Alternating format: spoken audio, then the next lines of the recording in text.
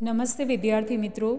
PN Amarsinh હાઈસ્કૂલના e learning ક્લાસીસમાં આપનું સ્વાગત છે. આજે હું તમારી સમક્ષ ગુજરાતી વિષયના વ્યાકરણ વિભાગમાં સમાસ અને તેના પ્રકારોની સમજૂતી આપીશ. સૌપ્રથમ સમાસ એટલે શું તે જાણીએ. બે કે તેથી વધુ શબ્દો કે પદો જોડાઈને એક પદ કે શબ્દ બને, ત્યારે તે પ્રક્રિયાને ભાષાની અંદર સમાસ કહેવામાં આવે છે. ઉદાહરણ તરીકે, રામ સીતા તેનો વિગ્રહ કરશું તો થશે રામ અને સીતા. ત્યારબાદ છે ચોમાસું, તેનો વિગ્રહ થશે ચાર માસનો સમૂહ.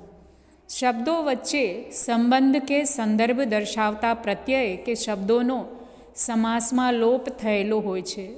સમાસના શબ્દને છૂટા પાડી લોપ પામેલો પ્રત્યય કે શબ્દ ઉમેરાતા શબ્દનો અર્થ સ્પષ્ટ થાય છે. ટૂંકમાં, સમાસ એટલે, નંબર એક, બે કે વધારે શબ્દોના સંયોગથી થયેલો શબ્દ તે સમાસ.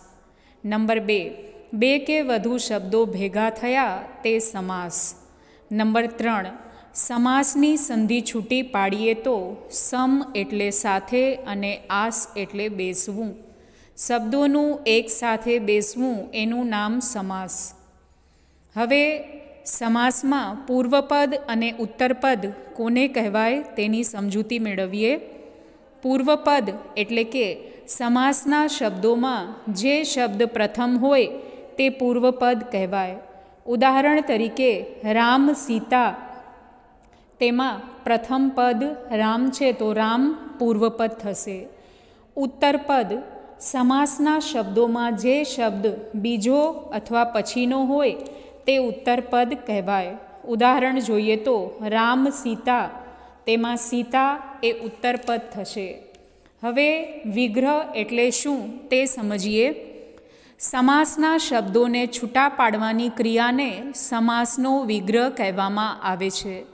ટૂંકમાં, સામાસિક પદના શબ્દોને છૂટા પાડીને સમજાવવાની પ્રક્રિયાને સમાસનો વિગ્રહ કહેવામાં આવે છે.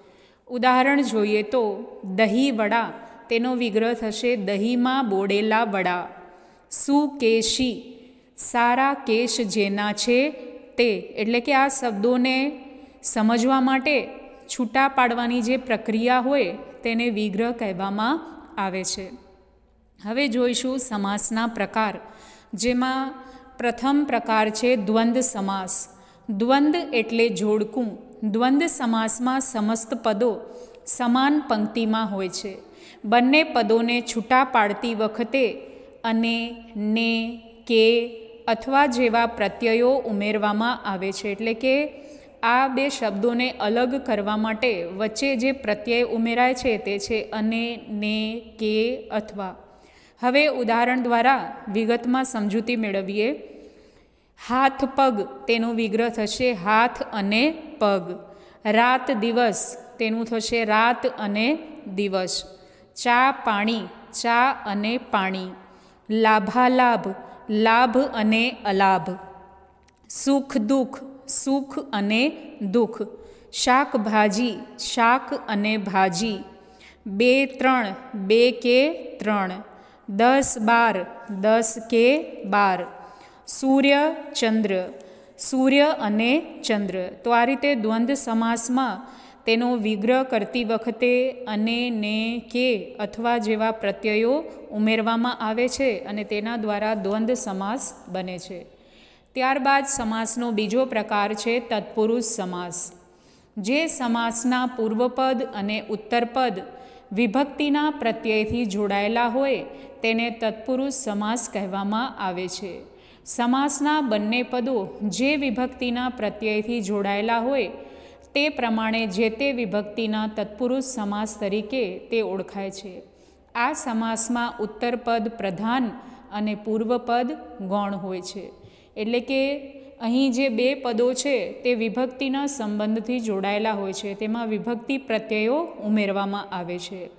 ઉદાહરણ જોઈએ તો, સત્યાગ્રહ તેનું થશે સત્યનો આગ્રહ. અહીં બે શબ્દોને જોડવા માટે વચ્ચે નો પ્રત્યય ઉમેરાયો છે અને તે વિભક્તિ પ્રત્યય દર્શાવે છે. કર્માધીન, કર્મને આધીન. મન ગમતું, મનને ગમતું. પદભ્રષ્ટ પદથી ભ્રષ્ટ. દેહાંત, દેહનો અંત. રસ ભીનું, રસ વડે ભીનું. હસ્તલિખિત હસ્ત વડે લિખિત. વરમાળા વર માટે માળા. દેવાલય, દેવોનું આલય. દેશ સેવા, દેશની સેવા.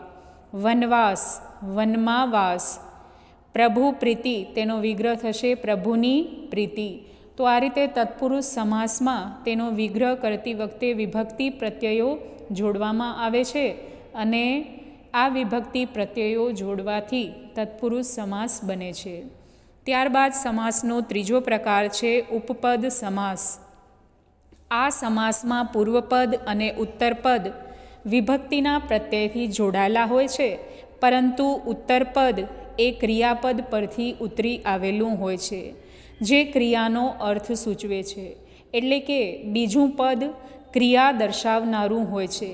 વિગ્રહ કરતા સમયે નાર પ્રત્યય ઉમેરાય છે. આ સમાસમાં જ્યારે વિગ્રહ કરીએ ત્યારે તેની પાછળ, એટલે કે ઉત્તર પદમાં, નાર પ્રત્યય ઉમેરવામાં આવે છે અને તે કોઈ ક્રિયા દર્શાવતું હોય છે. ઉદાહરણ જોઈએ તો, વ્યાજખોર, તેનો વિગ્રહ થશે વ્યાજને ખાનાર, ધુરંધર, ધુરાને ધારણ કરનાર, પંકજ પંકમાં જન્મનાર, ગિરિધર, ગિરીને ધારણ કરનાર ભૂચર જમીન પર ફરનાર, વસુધા વસુને ધારણ કરનાર, નર્મદા આનંદ આપનાર, પગરખા પગનું રક્ષણ કરનાર. કે અહીં ઉદાહરણ દ્વારા આપણે સમજૂતી મેળવીએ તો તેમાં જે ઉત્તર પદ છે તે કોઈ ક્રિયા દર્શાવે છે અને તેમાં નાર પ્રત્યય ઉમેરાયો છે, જેના કારણે તે ઉપપદ સમાસ બનશે. હવે આગળનો સમાસનો પ્રકાર છે કર્મધારય સમાસ. આ સમાસમાં પૂર્વપદ અને ઉત્તરપદ પ્રથમ વિભક્તિથી જોડાયેલા હોય છે. તેમાં એક પદ વિશેષણ અને બીજું પદ નામ હોય છે. એટલે કે પહેલું પદ એ બીજા પદનું વિશેષણ હોય છે કે અહીં એક જે પદ હશે તે વિશેષણ એટલે કે વિશેષતા દર્શાવનારું પદ હશે અને બીજું પદ તે નામ હોય છે.